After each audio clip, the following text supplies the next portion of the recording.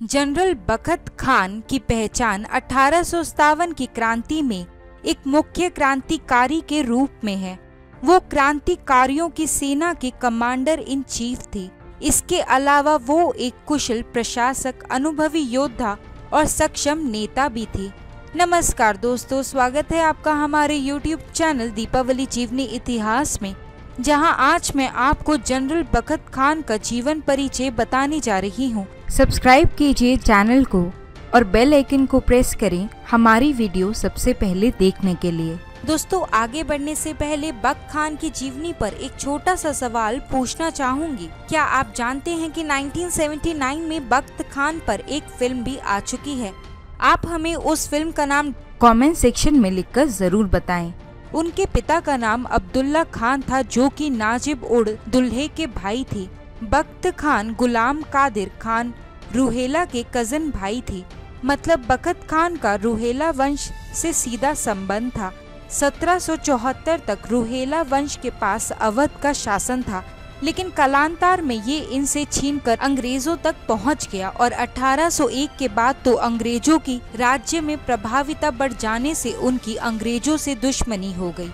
General बख्त खान का जन्म रोहिला खंड के बिजनौर में हुआ था। बाद में वो ईस्ट इंडिया कंपनी में सूबेदार बन गए। 40 वर्षों तक बंगाल में घुड़सवारी करके और पहले एंग्लो अफगान युद्ध को देखकर जनरल बख्त खान ने काफ़ी अनुभव लिया था। अंग्रेज़ों के बढ़ते प्रभाव के बीच में मुगल साम्राज्य को स्थायित्व देने के लिए उन्होंने कोर्ट ऑफ़ एडमिनिस्ट्रेशन बनाया था, जिसके सदस्यों को आर्मी और सरकारी विभाग से चुना जाता था। उनका सम्मान एक योग्य प्रशासक के रूप में किया जाता था। उनके योग्य प्रशासक होने का सबूत मुंशी जीवन लाल के अंग्रेज़ों को लिखे पत्र में मिलता था, जिसमें मुंशी ने लिखा था कि बख्त खान ने उन्हें बहुत अच्छे फैसले लिए हैं। नमक और शक्कर पर कोई टैक्स नहीं है।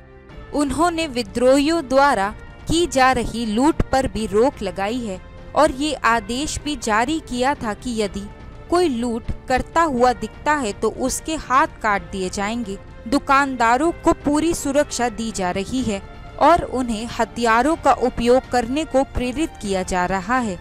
जिनके पास हथियार नहीं है, उन्हें उपलब्ध करवाए जा रही हैं। दिल्ली बाज़ार से सैनिकों को हटा लिया गया है क्योंकि वहाँ पर आम जन जीवन प्रभावित हो रहा है।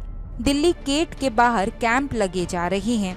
सैनिकों को वेतन दिया जा रहा है और उन्हें आर्मी में काम करने के लिए उनकी जागीर लौटाने का भी वादा किया जा रहा है। अपने दुश्मनों को हराने के लिए जनरल बकत खान हमेशा नए नए तरीके अपनाते थे, जिससे दुश्मनों को उनके अगले कदम का अंदाज़ा नहीं लग पाता था। जैसे 9 जुलाई को जब उन्होंने अंग्रेज़ों को शक्ति पहुँचाने का प्रयास किया, तब उनकी योजना थी कि वो अपने सैनिकों को अंग्रेज़ी अंग्रेज़ों की सफ़ेद पोशाक पहनाकर भेजेंगे, जिससे अंग्रेज़ कंफ्यूज हो गए और उन्हें अंग्रेज़ों के कैंप में घुसने का मौका मिल गया।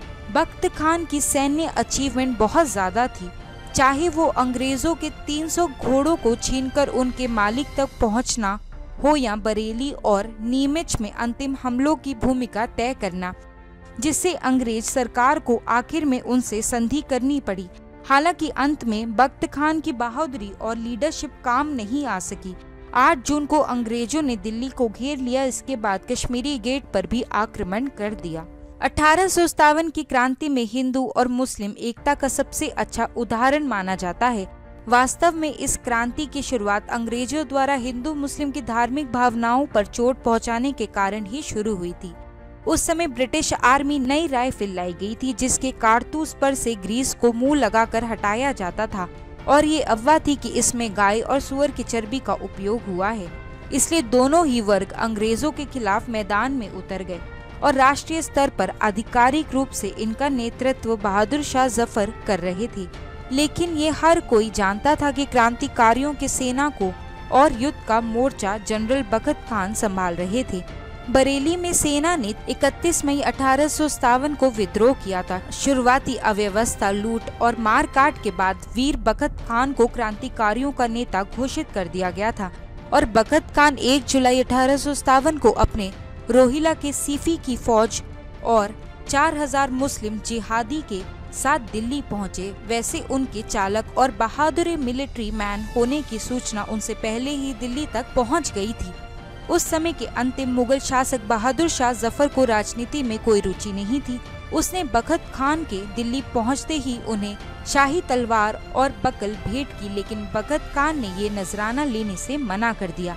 इसके बाद जल्द ही बकत खान ने राजा की मदद करनी शुरू कर दी। उन्होंने साफ़ शब्दों में ज़फ़र से कहा कि तुम एक अच्छे राजा नहीं हो, लेकिन अब भी संभावना है। तुम अपनी सेना का सही उपयोग कर सकते हो। क्योंकि अंग्रेज़ों को मुझसे बेहतर कौन जान सकता है? ये सब कुछ इतना सीधा और स्पष्ट कहा गया कि हर कोई चकित था। लेकिन इसके बदले भी बहादुर शाह ज़फ़र ने नाराज़ होने की जगह अपने बेटे मुगल मिर्ज़ा को हटाकर बखत खान को गवर्नर जनरल बना दिया। 14 सितंबर को जब अंग्रेज़ों ने कश्मीरी गेट पर आक्रमण किया, तब बखत खान ने ज़फ़र को समझाया कि दिल्ली का बाहरी इलाका अब भी विद्रोहियों के कब्जे में है, इसलिए युद्ध में डटे रहें। एक पूर्व सूबेदार ने भी ज़फ़र से कहा कि बख्त खान अभी उनके पक्ष में है, जो जान पर खेलकर भी मुगल राजा का नाम नीचे नहीं होने देगा और भारतीयों को जीत दिलवा कर ही रहेगा। अठारह की क्रांति के बाद बखत खान के नेपाल चले जाने की खबर आई और ये भी कहा कि उन्हें अंग्रेज़ों ने वहाँ मार गिराया है और उन्हें स्वत के नाना शेर में दफनाया गया है। स्वत के इतिहासवादों का कहना है कि युद्ध अठारह सौ सत्तावन का हारने के बाद बख्त खान ने स्वत के अखौंड की सुरक्षा में अपना बचा हुआ जीवन व्यतीत किया था। सेना ने निष्कासित होने के बाद से मिर्ज़ा मुगल बख्त खान से नाराज़ था।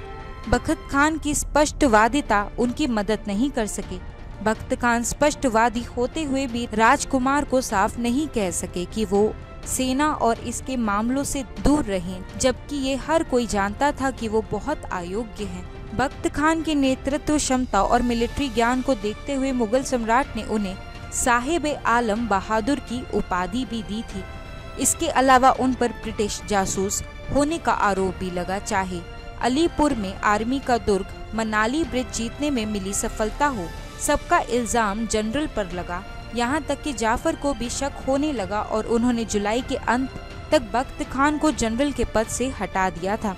1979 में जनरल बख्त खान पर एक उर्दू में पाकिस्तानी फ़िल्म बनी थी, जिसे सरशार अख्तर मालिक ने निर्देशित किया था और नौशिन मालिक ने प्रोड्यूस किया था। फ़िल्म में मोहम्मद अली यूसुफ खान, सुल्तान राही और सुधीर मुख्य किरदारों में थी।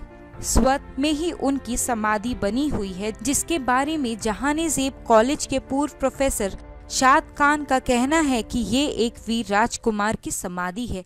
जिसने अंग्रेज़ों से युद्ध किया था। अठारह सौ सत्तावन की क्रांति में योद्धाओं के नाम में हिंदू या मुसलमान के नाम नहीं थे, क्योंकि अंग्रेज़ तात्या तोपे से भी परेशान थे और बखत खान से भी।